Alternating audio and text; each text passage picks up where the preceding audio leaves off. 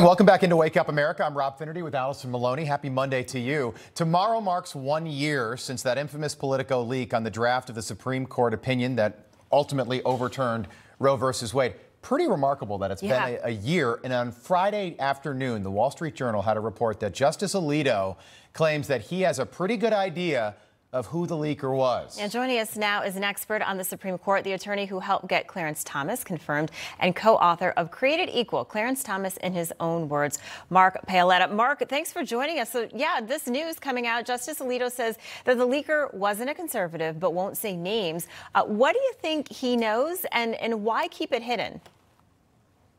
I think the the justice and I think a lot of the people, court watchers, kind of think they know who it is, but it's as the justice said in that interview, it's a different sort of level of certainty in terms of naming somebody. I think the court didn't have the resources actually to kind of look into who and determine who leaked that that that opinion. I do think it came from a left wing uh, law clerk uh, to undermine the Dobbs decision, which was in draft, and it was kind of the beginning, uh, ratcheting up of the attack on the Supreme Court. Now it was showing that the Supreme Court was no longer the playpen of the left, right? That everything that the left wanted, they get through the Supreme Court. This was the first time ever uh, that an entire opinion was leaked from the Supreme Court. Um, I hope they catch it one day. I've been involved with leak investigations in the government as a general counsel of agencies and the like, uh, and up on uh, Capitol Hill. And it's very difficult to find leakers. Uh, and in this case, with the Supreme Court, you know, you, I, I'm not an advocate of bringing in the FBI. So law enforcement or subpoenas, I don't want the FBI tramping around the Supreme Court and looking at their internal workings because that's generally a bad idea. And particularly with this FBI, I wouldn't trust them, uh, you know, as far as I could throw them. Do you have an opinion on who the leaker might be a year later?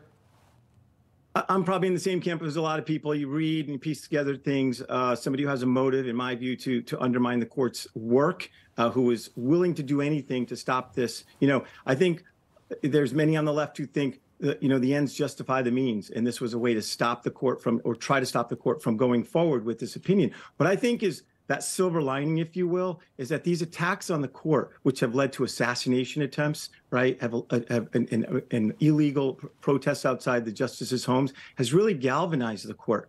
Uh, and you saw that last week with Chief Justice Roberts basically staring down Congress and saying, "I'm not coming to testify because there's a separation of powers, and I don't report to you." Yeah, you mentioned those assassination threats. Uh, On MSNBC, they criticized Supreme Court Justice Alito for referencing assassination threats in a Wall Street Journal interview. Take a listen. So sorry to interrupt your workflow, Justice Alito. It's just a decision about whether or not millions of people with uteruses across the country can access the most commonly used method of abortion. But sorry for bothering you. The headline of his newly published interview in the Wall Street Journal is This Made Us Targets of Assassination, which is definitely some kind of headline. All right, Mark, conservative justices, they were harassed at their homes when their family was sitting in their homes. What's your reaction to this?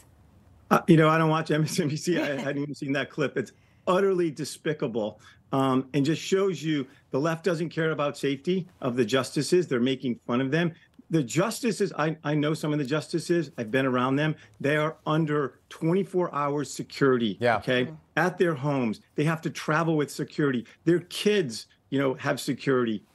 So the idea of making fun of this is absolutely despicable and shows you, as I said, that they don't care. All they care about, right, is just like Justice Thomas said in, in the book you mentioned, that they don't care about your life. They don't care about anything. Yeah. All they care about is getting what they want. Um, just about 15 seconds left. Uh, if we don't identify who the leaker is, what happens if this happens again? I, well, I think it's unfortunately um, I, the court it's, it was disrupted by this leak, uh, but I think they, they they're regaining that trust and moving forward. But it was a despicable. I, I think it also showed you weren't going to you know Yeah. tear down an opinion uh, uh, by leaking it. Good point, Mark. I always appreciate you coming on and breaking stuff down for us. Uh, it, it amazed me when I read that this morning. We are one year removed Yeah. from that leak. Yeah. It was the biggest story in America when it happened. Uh, Mark Paoletta will pick this up again soon. Thank you.